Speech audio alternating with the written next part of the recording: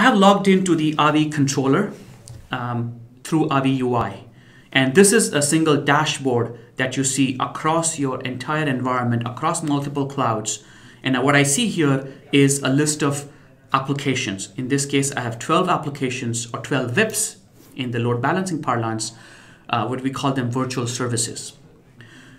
These virtual services uh, are color coded based on the health score. So, for example, uh, in this case, this particular application, or this particular virtual service, uh, has a performance score of 88, which says the performance, the, the, the, the latency is reasonable, the traffic throughput is uh, doing fine. And uh, on a, on, on a scale of 100, its performance is it's pretty good at 88. But in addition to doing application health, um, uh, measuring it in terms of its performance, we also measure the risk that might be associated with the application's performance in future. So it's not just a binary up and down about whether my app is up or down. It actually talks about um, how the resource utilization is on my application. If I'm getting saturated either on my load balancer resources or on my application pool members resources, we adjust the score appropriately. In this case, we have a resource penalty of 10 or negative 10. Our Avi controller is also a big data analytics engine. So as we saw in the slides, we collect a ton of metrics and logs from the service engines, from the application traffic, and then we correlate that with the rest of the infrastructure. And if we see any anomaly in the behavior, such as a spike in a latency or a drop in throughput, we call out as an anomaly penalty. And a security is, is an important feature of our product, not just from SSL offload point of view, but also in terms of DDoS mitigation, in terms of uh, calling out any security misconfiguration, uh, certificate expiry, or um, weak cipher that you might have create, uh, configured for your SSL, we call that out in form of a security penalty. And we'll address some of these as we uh, go in the next few minutes. But the key, key takeaway on this is that we give you a much more holistic view on your application's health beyond just whether my app is up or, or down. Now let me dig deeper into one of these applications, one of these virtual services, and see what's going on.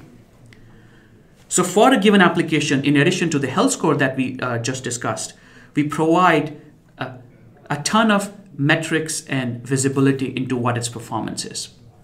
So for example, in this case, what I'm showing you is that for these applications, over the last six hours, uh, the end-to-end latency from my client to the load balancer, which is in the data center. So this is typically a WAN latency. It's about 100 milliseconds. On an average, the, the, the latency between the load balancer and the backend pool members is just about a millisecond and a half. So my local data center net network is just doing fine. The application is taking 124, 125 milliseconds to process the request. So this is not a network latency. This is how long the application stack is taking to process the request and start sending out the response. And finally, it's taking just under a millisecond for the data to go back with the overall RTT as experienced by the end user of 226 milliseconds. Now, this dashboard is unique to the industry to what Avi does. There is no agent running anywhere in, in, in on the servers. There is no monitoring fabric or a span port anywhere. This is an inline analytic solution that gives you the end-to-end latency breakdown. And many of our customers call it a mean time to innocence tool. And you, you can see why, right? Because today, if there is a problem in an application performance, uh, you, there is a finger pointing that goes on. Is it a network issue? Is it a is, is an application issue or a server issue? And then you, you don't know where to start. Well, this dashboard gives you the top line um, starting point to say, first of all, if there is a problem, and if so, where it might be. So in addition to doing this 10,000 foot view of my application performance, I can dig down into the specific um, individual transactions, right? Um, so for example, um, we have a log screen in which we collect, um, the service engines collect uh, logs of the HTTP and TCP uh, transactions and other metrics as the traffic flows through Avi service engines. By default, we propagate only significant logs up to the Avi controller. And the significant logs are the ones that have errors in them or if we see that there is some kind of abnormal behavior. So you see there are a bunch of 404s that we have highlighted here.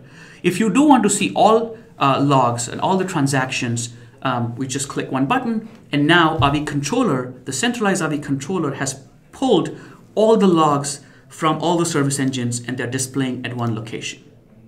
And you can now run a ton of analytics on top of these logs, uh, as I see on the right hand side. First of all, let's open up one of the uh, specific uh, um, log and see what's going on. So, for example, this particular transaction, a given transaction, um, came in from this particular IP address and port, which is which is a client in US, somebody running a Windows 7 machine uh, with a Firefox browser, running SSL uh, TLS version 1.1 with an RSA certificate. So detailed information about your client. It took 19 milliseconds to uh, round trip from that client uh, to the load balancer. So uh, that sounds reasonable. It was uh, handled by this particular VIP and port. It's an SSL uh, VIP, as you can see. And this is the details of the backend connection between the load balancer and the backend pool member. Uh, it also has other timestamps information and the length information. Uh, we, it also tells you that it took one millisecond on the local network, does is doing fine, no problem. And then finally, the URI that the, the client was looking for was a particular PNG file. And application was rapid, less than a millisecond, so almost zero milliseconds to, uh, to process the request, and data went back in a millisecond with the RTT of 21 milliseconds total. This level of information is hard to find today anywhere in the industry, and this is for every transactions we collect this level of information. Now, you can do, as I said earlier, you can do further analytics and say, well, I see a bunch of 404s. What if I were to know what's going on on this um, uh, what's generating this 404? Well, I just clicked on um, uh, one place which says 404 on it, and my Google-like search engine got populated with a query which says, show me only those transactions which have a 404 response code. Now I can go back and see, well, which are the URIs which are generating uh, these 404 errors. And as you can see, other than a few uh, uh, bogus URLs, there are two primary PNG files that are missing. And let's say I'm interested in finding out where this particular file is missing, which backend server. All I have to do is, uh, while I have this query on, I click on server IP address, the pool member IP address, and it tells me after, out of the two or three pool members that I'm load balancing, I have this file missing on exactly one server. So not only I can identify if there is a problem, in this case it's a 404, I can actually root cause it to say that it is because of a specific uh, file on a specific backend pool member and quickly uh, resolve the problem by, uh, by copying that file from, from another server. So this level of um, analytics this, uh, that allows for rapid troubleshooting is uh, unique to what Avi does. Now, if I can, I can, I, we can do other analytics, um, such as we can identify what are the what are the end-to-end latency uh, uh, that the clients are experiencing. I see there are a bunch of them which are high latencies. We can figure out these high latencies are coming from a specific browser or a specific device or a specific location. In this case, looks like they're all coming from India. So I can then go back and say what's going on in terms of the end-to-end latency um, and I can clearly see that the WAN RTT is pretty high. So I can go back to my the data center network team and say, can you look at the WAN connection from our India office?